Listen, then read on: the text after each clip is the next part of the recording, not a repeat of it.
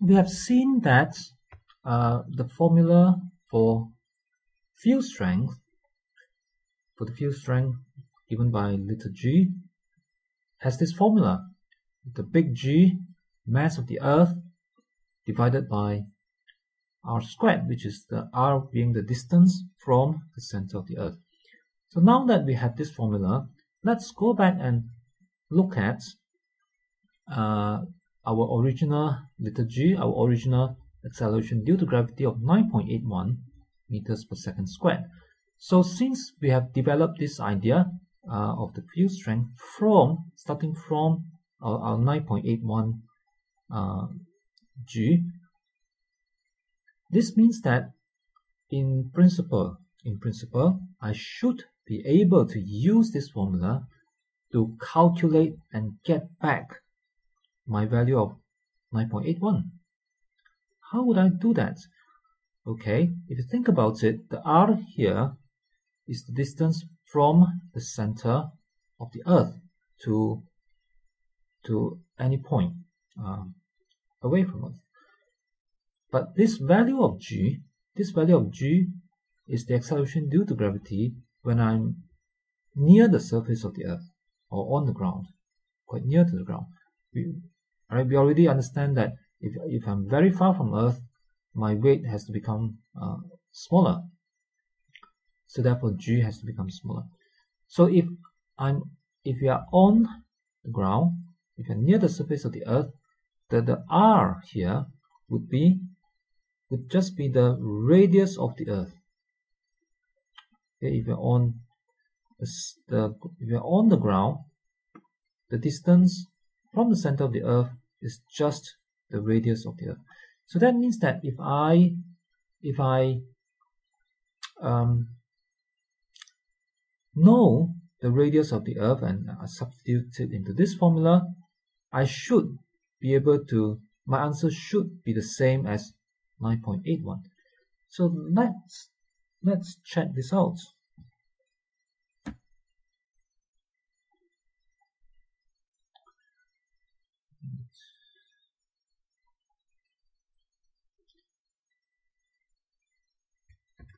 Now, um, okay, G, uh, I'm going to try now try to find G using the new formula GM M over over R squared over R squared.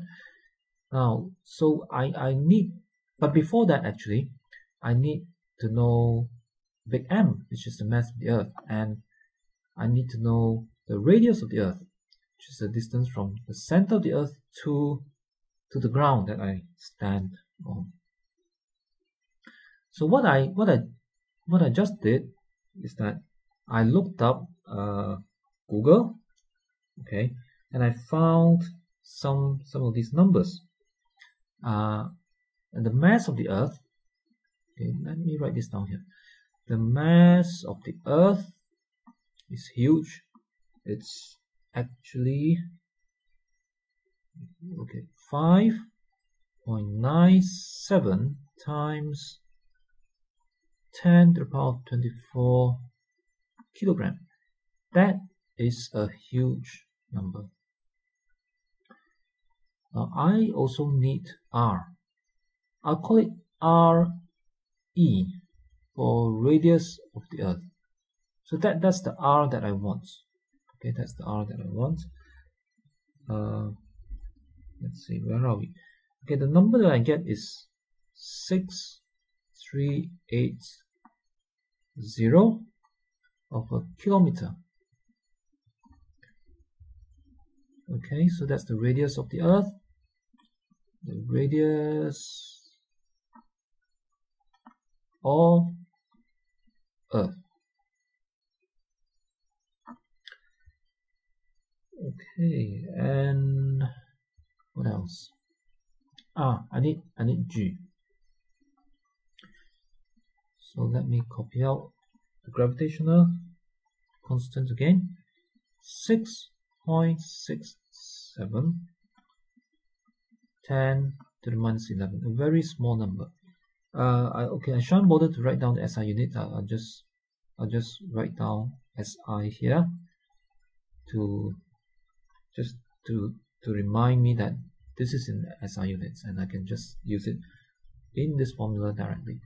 So now that I have these numbers, I'm ready.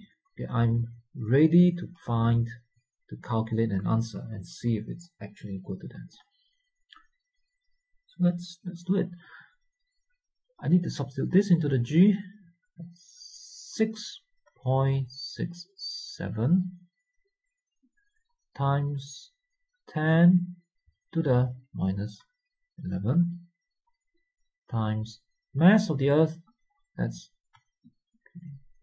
that's 5.97 times 10 to the 24 over r squared. So r is 6380 kilometers.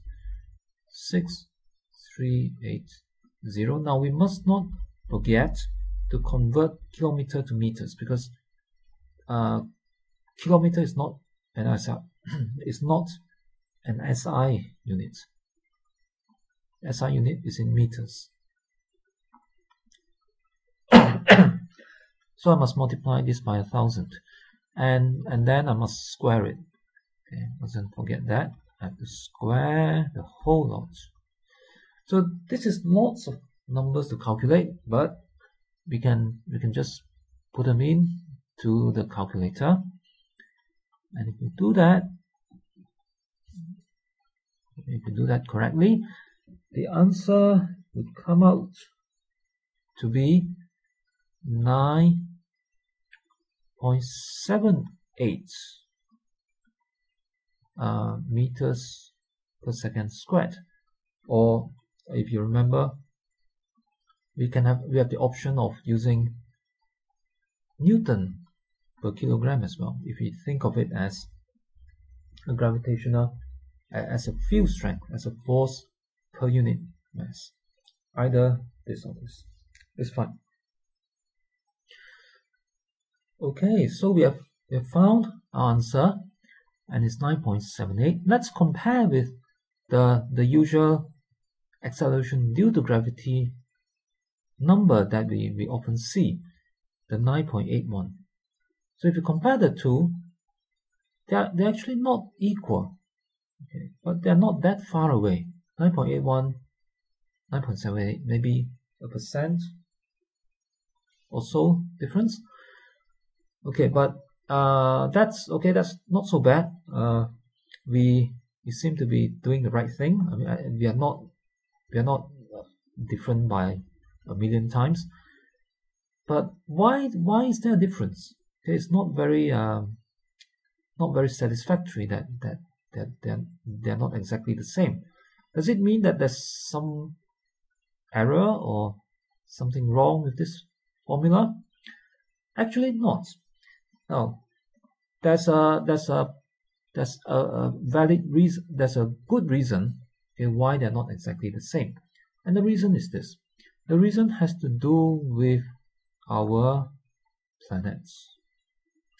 Now, if you look at Earth, now um, I'm going to try to draw the Earth.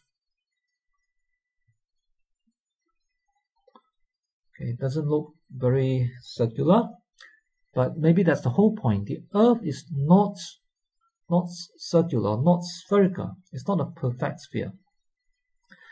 Now, let's say that's the North Pole. That's the North Pole.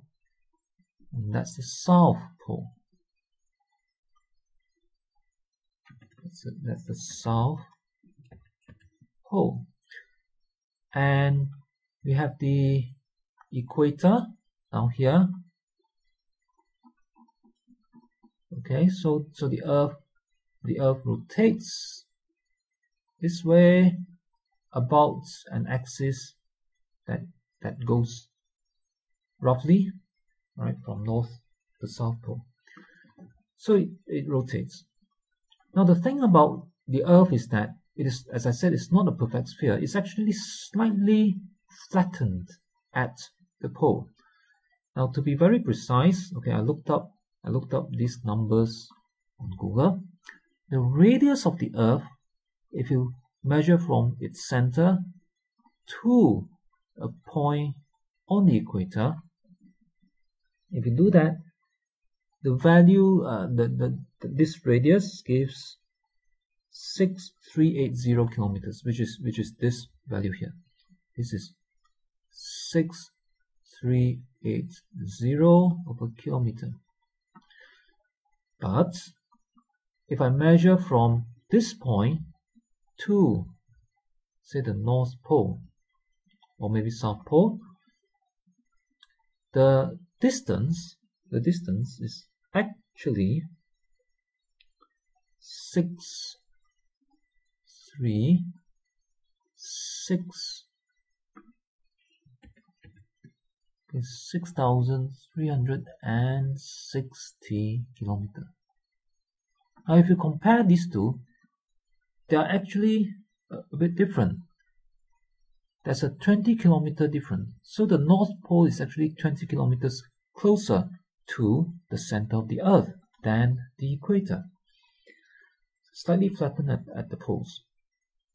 And what this means, what this means is that if I substitute, if I substitute uh, uh, this radius, the radius at the North Pole into this equation for the for, little g, I would get a slightly different answer.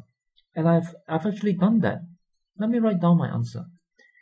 Now, if I so this this calculation was uh, for the equator, right? That that's the equator. So so this calculation was actually done for the equator. So let me just write this down just to be very clear. Radius of the earth and this value that I used here was for the equator. Now that we know the difference, okay. And for the pole, at the pole, at the pole, if we repeat this calculation, we can repeat this calculation dito right dito but the same except that we must change this. Okay we must change this to uh, the 9360 so not exactly dito so just dot the dot. Using the corresponding distance the answer I would get the answer I would get is actually and try it out for yourself 9.84 meters per second squared. So slightly different. Now you can see that whereas just now when I got the 9.78 is a bit smaller than the 9.81 that we see in uh, textbooks. Now when I do it for the, the North Pole, I get 9.84 which is, which is a little bit bigger than 9.81. So it kind of makes sense. Alright, the, the textbook value is 9.81 is in between these two extremes. And actually, this this uh, standard, if I, can call it as this standard value of the acceleration due to gravity, is actually an average value, right, of the the acceleration due to gravity at a, a different places on Earth.